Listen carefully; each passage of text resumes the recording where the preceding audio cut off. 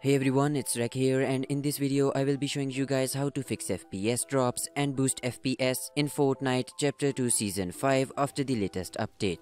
So after the new update, a ton of people are getting FPS drops and overall low FPS. Hence inside of this video, I will be showing you guys how you can fix FPS drops, get more FPS and lower input lag in Fortnite Season 5. This is going to be a bit longer guide than usual because I want to cover more methods to help you guys inside of this video. Also Merry Christmas to all of you guys so consider this guide a Christmas present from me to all of you. Make sure that you guys stay safe while celebrating in these difficult times and also help as many people as you can. If you guys will be picking up any anything from the Fortnite item shop for this Christmas, then make sure to use code REKNOTIC to help support me and the channel. And also 92% of you guys watching this video are not subscribed to the channel. So make sure that you guys show your support by pressing that subscribe button and helping us reach 17,000 subscribers before the end of this year.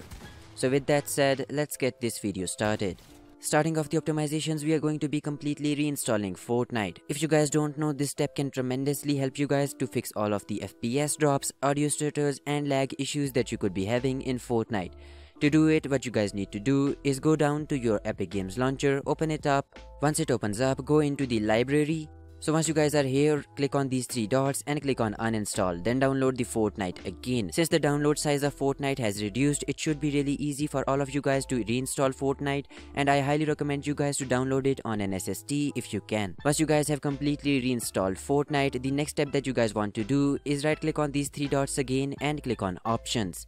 Then make sure that these high resolution textures are unchecked and as you guys can see the download size will be 0 and the overall required storage space will be less as well. Once you guys have done that, hit apply then let it do its work it's going to update and now it just literally took 3 seconds or something this does not make any difference on texture quality whatsoever but it will reduce the Fortnite file size which is going to help you guys download it faster and also put it on SSD drives so I highly recommend you guys to do these two steps before doing anything else. So after you guys have reinstalled Fortnite and also uninstall the high resolution textures, go down to settings, then scroll all the way down to Fortnite, expand it and make sure that there is nothing inside of here because all of these commands don't work anymore and there is no need to put them inside. In some cases they will even give you FPS drops so we don't want that. Therefore just go ahead and clear this out then uncheck additional command line arguments and now you can go back and close out of this as well. After doing all of those optimizations inside of the Epic Games launcher, we are going to be resetting the Fortnite cache so that the next time we load up Fortnite, it starts with a completely new configuration and brand new settings so that we can optimize it even more. So in order to do that, head down to your start menu and search for percentage local app data percentage. Go ahead and open it up. Once this folder opens up, right click on the Fortnite game folder, click on rename and then just put 1 at the end of it.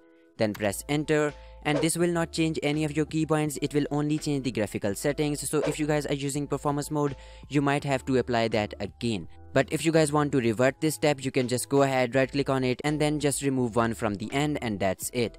But I highly recommend you guys to do this step so that you can have a brand new and fresh start to Fortnite. Once you guys have done that, you can close out of this and now we can move on to other optimizations. In order to continue along with this guide, you guys will need to download the Fortnite Season 5 Ultimate FPS Boost Pack made by me. I will provide two links in the description, you can just go ahead and use either one of those to download the pack and after you guys have downloaded it, you guys will need 7-zip or WinRAR to extract it.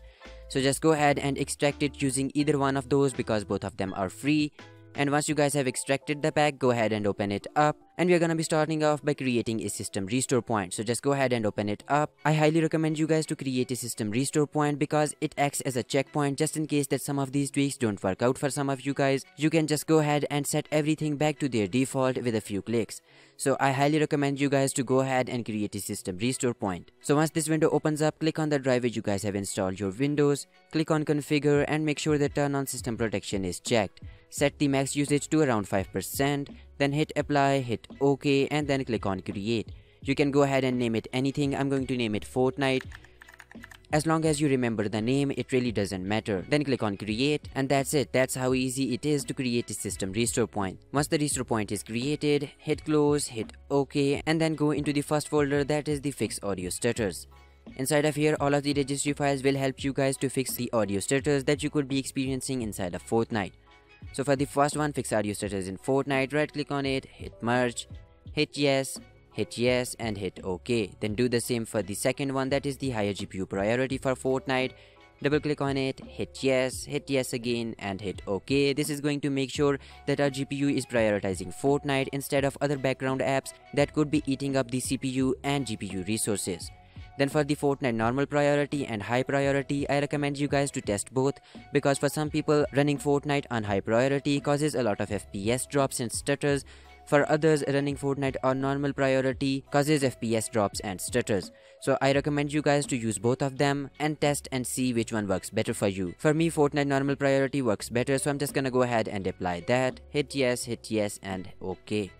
After that, go back into the pack and go into the second folder that is the lower input delay. For this one, we want to right click on the input delay reduction, then run it as admin, hit yes, and then let it do its work. After that, right click on the lower latency one, run it as admin, hit yes, and that's it.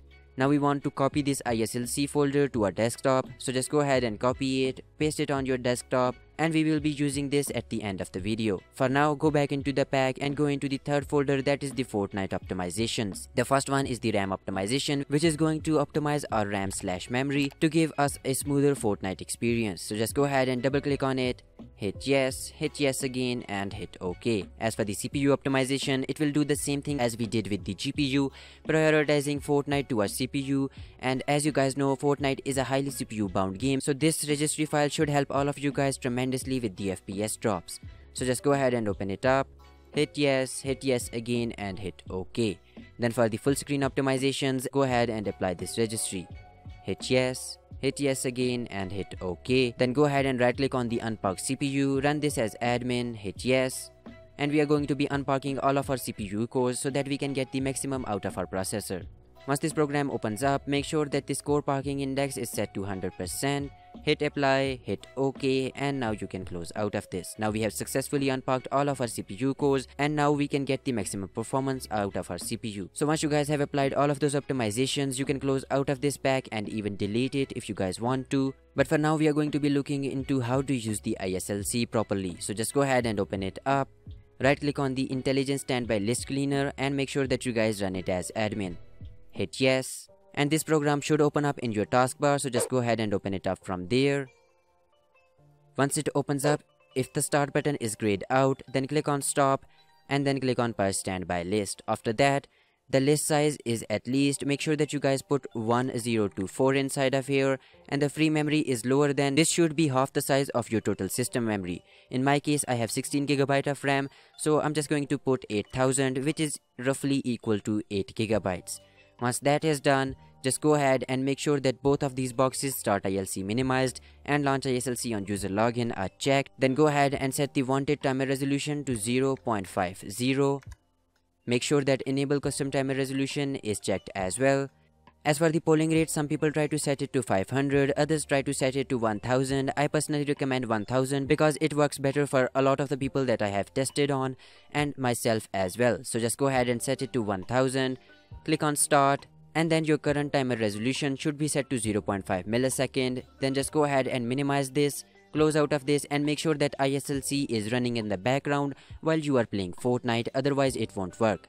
So once you guys are done playing Fortnite and close out of it, just go ahead and open it up again, click on stop and after that you can close out of this. Moving on we are going to be setting the right value for our paging file size in order to help us reduce the stutters and FPS drops in Fortnite.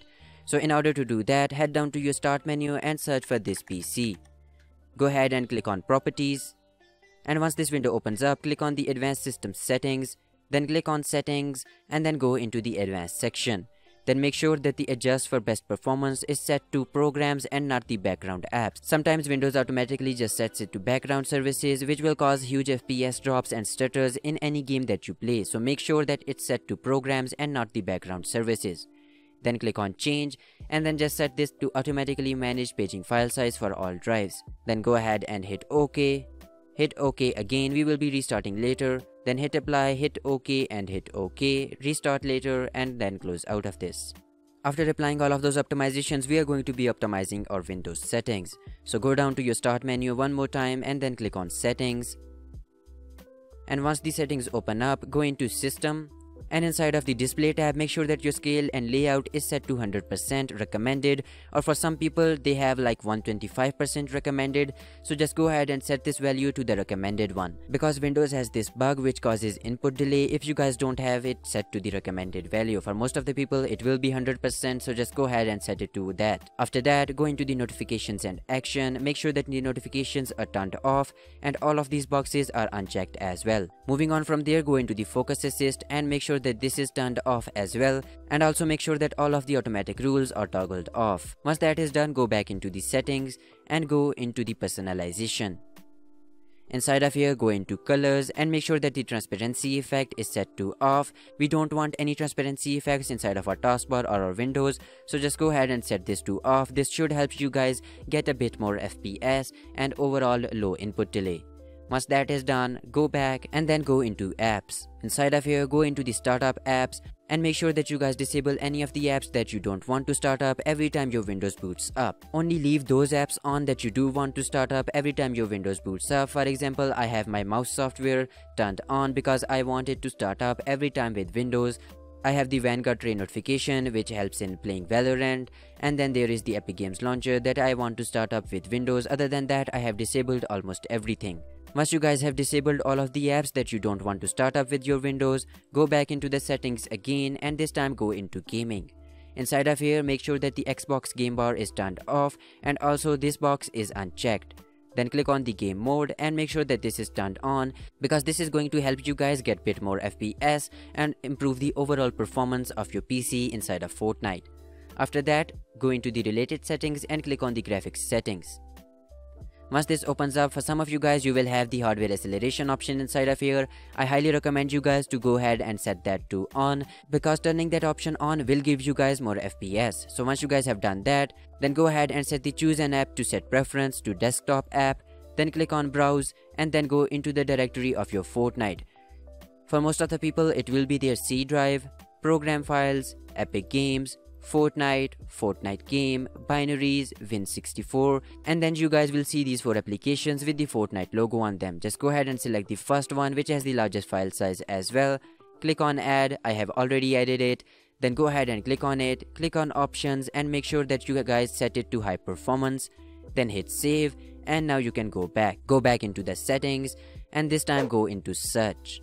We are going to be optimizing as such as well so that we can get as much performance out of our PC as we can. For the safe search, make sure that this is set to moderate and then just go ahead and uncheck anything that you guys might have such as history and all that. Then go ahead and click on searching windows and for this one make sure that the find my files is set to classic and that's it. Now you can go back, go into the privacy settings. These are one of the most important settings inside of here and we are going to be turning everything off inside of here except for our camera and microphone. So inside of general just go ahead and set everything to off speech everything off and everything up till your camera. Make sure that you do not turn off your camera otherwise you won't be able to use it. Same thing with your microphone just do not go ahead and turn off your microphone because you won't be able to use your microphone if you do so other than that, just go ahead and set everything off, such as notifications, voice activation, calendar, phone calls, task, and the most important setting that you guys want to be turning off inside of here are the background apps.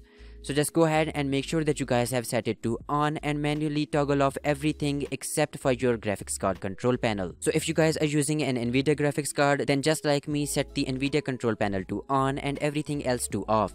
If you guys are using an AMD graphics card then set the AMD control panel to on and everything else to off. This is going to help you guys get a lot more FPS because once again Fortnite is a highly CPU bound game and these apps running in the background consume CPU resources causing high CPU usage which in turn causes stutters and FPS drops in Fortnite.